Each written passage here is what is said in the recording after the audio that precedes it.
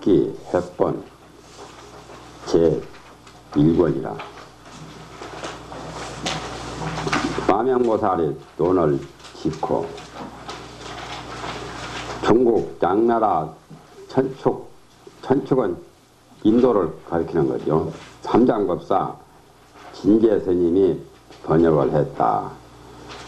진제 스님은 서기 4천 아니 499년에서 569년 그때 장나라 승성 3년에 번역한 책이죠. 기신론 번역이 두 사람 것이 있는데 첫째는 삼장법사 진제 스님이 번역을 했고 두 번째는 당나라의 7차란타 하암경 80권을 번역하신 그분이 번역한 것이 있는데 주로 이제 진제 삼장법사의 번역을 세상에서 많이 여러 가지로 이용을 했었죠. 독송용이 주로 이제 진제 삼장 번역입니다. 그리고 이제 속기는 해동 사문 우리나라에 에, 발해의 동쪽에 있다 해서 해동인데 해동 사문은 출가 사문 원효께서 소를 했다 말이죠. 소랑하시는 주석입니다. 아울러 별기까지 했다. 별기랑 해서 이제 소 외에 소에서 말한 것도 약간은 설명도 있고 또 소의 말이 빠진 부분을 별기에다가 또 쓴 겁니다. 원래는 소가 더, 어, 원 주가 되고, 그 다음에 종은 기가 되죠. 주정관계죠.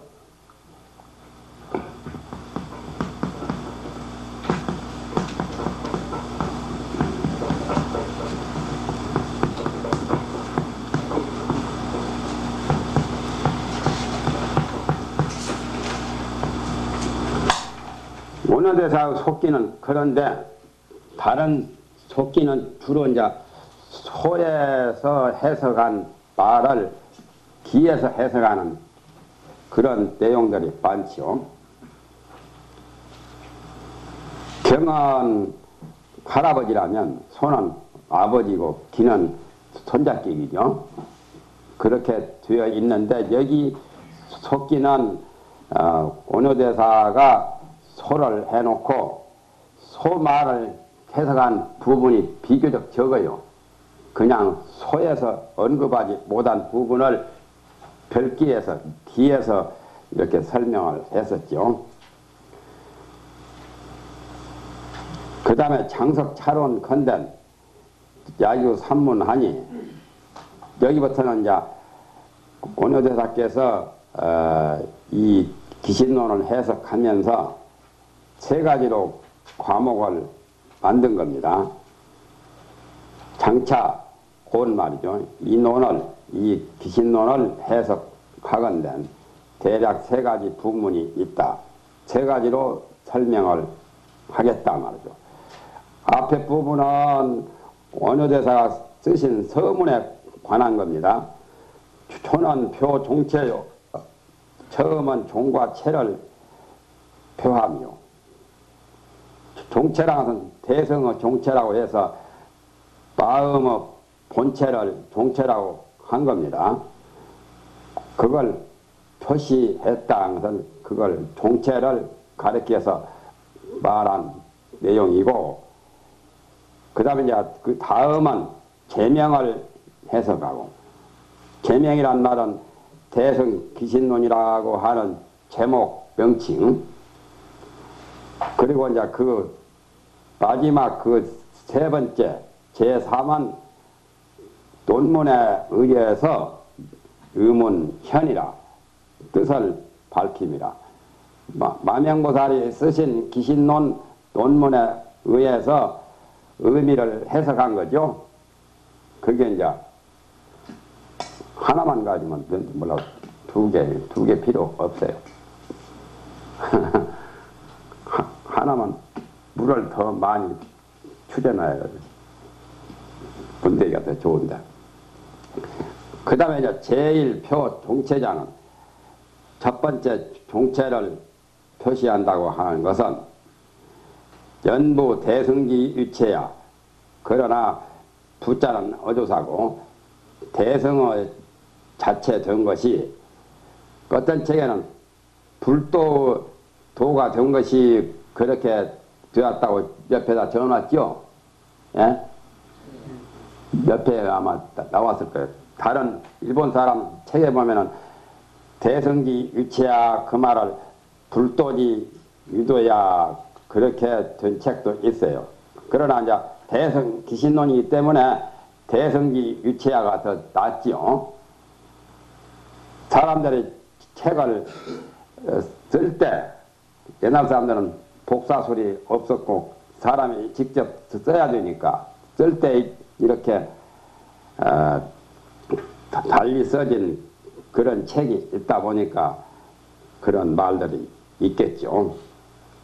대성은 그 자체가 어떤 거냐면 소연 공격하며 담이 충연하여 소연하여 공격하고 이기연자도 그러연자나 같은 형용사라요.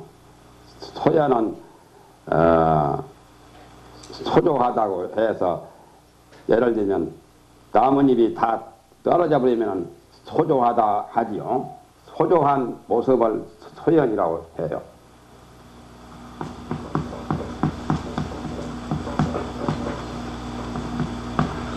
가지만 앙상하게 남는 거. 고- 고요하다는 뜻이죠. 고요하고 쓸쓸하다는 뜻이라요.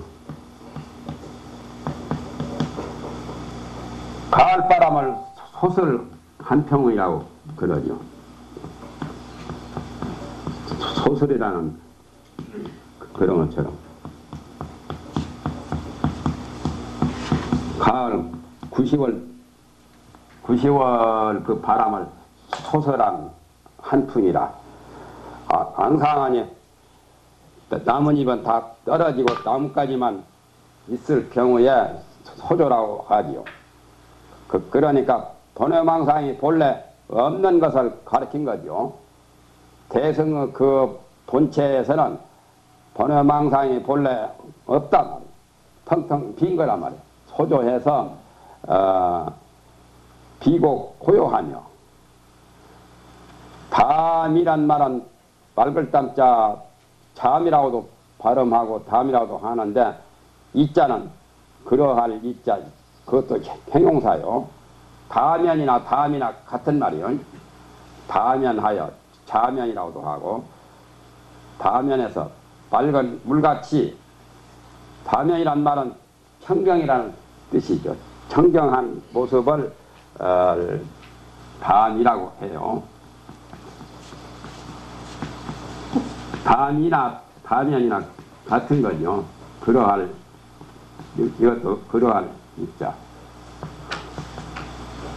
청정하다는 맑고 깨끗하다는 텅텅 빈자리를 청경이라고도 하지요. 때가 없이 깨끗한 것도 청정이지만 텅 빈 자리가 청정이요. 청정해서 충현하여. 충현이란 말은 통할 충자, 빌 충자죠. 비고 깊다 말. 그 자리는 지극히 비고 고요한 빈자다 말.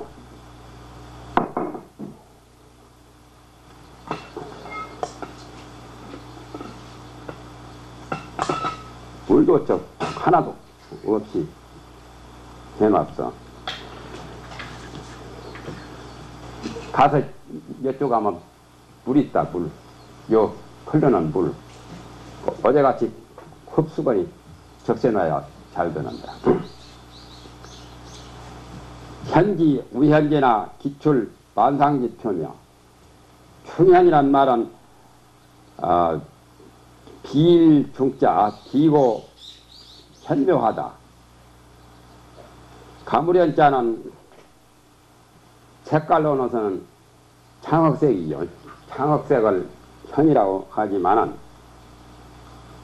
이제 그렇게 한 거죠. 색깔은 창흑색이요.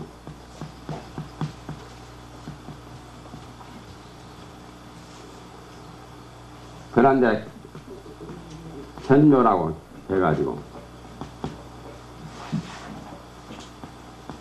미묘하다는 뜻이죠.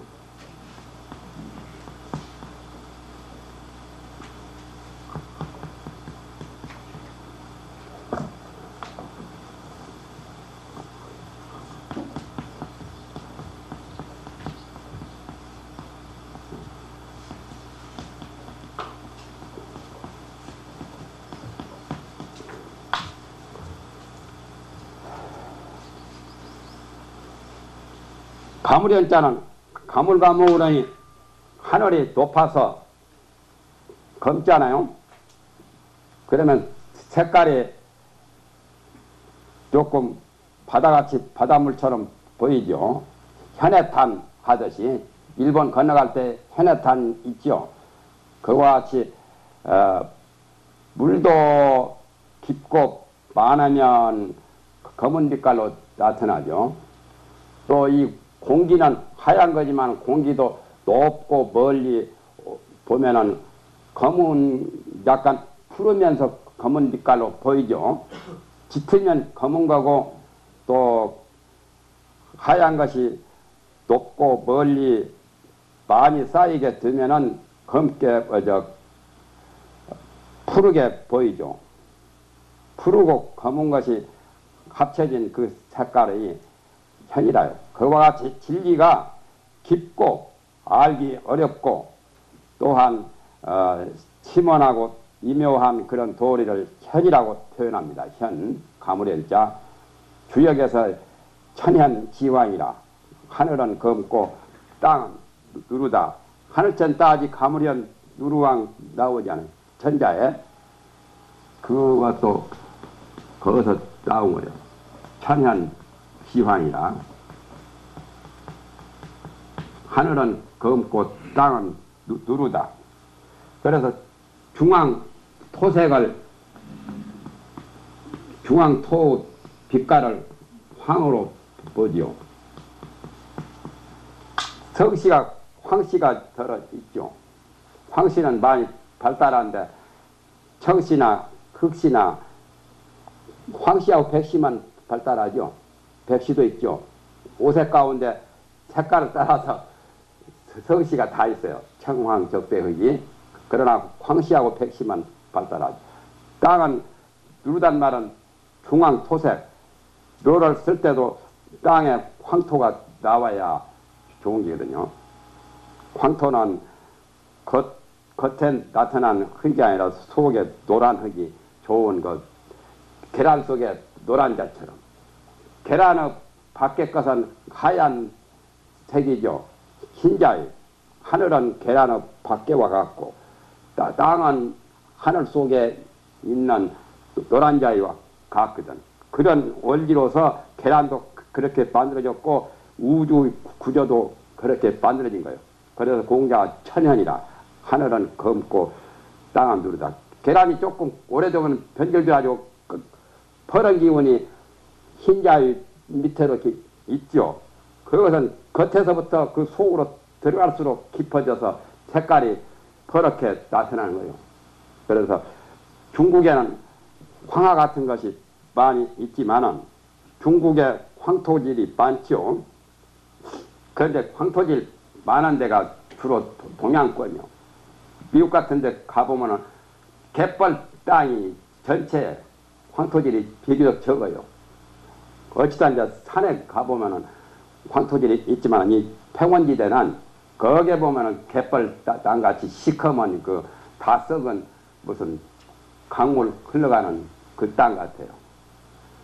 근데 중국이나 저쪽 이제 인도네시아나 우리나라에 보면은 이 평지에도 황토가 있죠. 높은 산만 있는 게 아니라. 그래서 황을 중앙 토색으로 말해가지고 땅은 누르고 하늘은 검다해서 천지 현황이라요. 주역 말인데 그런데 이제 깊고 아주 미묘한 도리를 현으로 표현합니다. 현. 그래서 이 사면 노자 도덕경을 허현이라고 하죠. 허무자연을 말한 그런 도리가 허현이죠. 주역은 진리를 말하는 진현이고 장자 남하경은 담현이라요. 천고 웅변이요. 장자는 장자는 글도 잘했고 말도 잘했고 또 도에도 받고 그래서 장자 남하경을 담현이라고 그러죠. 자- 장자는 주역은 친현이고 진리의 현현함이고 또 노자 도덕경은 허연이고 빈도리를 빈 그런 허무한 그것을 밝힌 허현이라. 그걸 이제 동양학의 세 가지를 사면이라고 하지요. 불교의 사면하고는 달라요. 불교의 하암계에는 시편문이 나오죠. 열 가지 시편 또는 임계종이나 다른 오종각풍의 산년 삼료가 나오죠. 제1현, 제2현, 제3현, 제1구, 제2구, 제3구 그와 같은 것이 전부 다 어, 깊으면 검게 보여요. 그러니까 진리가 심오하는 것을 심오하다는 것을 현으로 표현합니다. 심오한 것, 심오하고 또 심오하나. 그러니까 대승을 가리킨 거죠.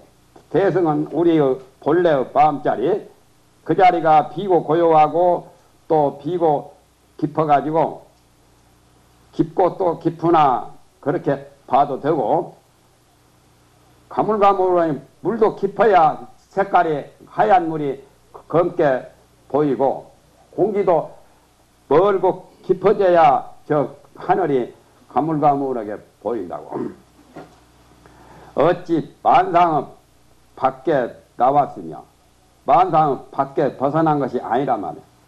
만상이란 말은 삼라만상 우주 만유 밖에 그 대성의 본체가 벗어난 것이 아니야. 만상 그대로가 대성이고 만상 안에 에, 그대로가 대성의 본체가 조- 존재한다는 말이죠. 바표자요. 만상 밖에 벗어났겠느냐? 그러니까 불성도 몸 안에 있지 몸 밖에 벗어났다고 고집할 필요는 없죠. 몸 이대로가 그래서 영가 스님은 어, 무명실성이 직불성이고 무명실성이 바로 불성이고 한화공신이 직법증이라 그, 그런 말씀을 했죠. 한화공신이 바로 우리 육신이거든. 육신이 바로 법진이라는 거. 깨닫고 보면은 둘이 아니거든. 한화공신이 직법증이다. 이 한화는 육신을 가리킨 거죠. 색신. 색신이라고도 하고 육신이라고도 하고. 이게 바로 법칙이라는 거예요. 이런 도리를 지금 원효대사께서 서술한 거죠. 관화공신이 바로 어, 법칙이다 말이에요.